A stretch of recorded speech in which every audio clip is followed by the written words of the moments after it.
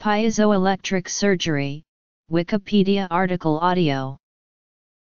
Piezoelectric bone surgery is a process that utilizes piezoelectric vibrations in the application of cutting bone tissue. The process was developed by Tommaso Vercellotti and has been patented. It is indicated for use in oral, maxillofacial, cranial, and spinal procedures. By adjusting the ultrasonic frequency of the device, it is possible to cut hard tissue while leaving soft tissue untouched by the process.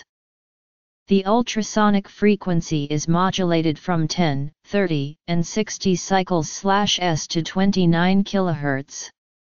The low frequency enables cutting of mineralized structures, not soft tissue.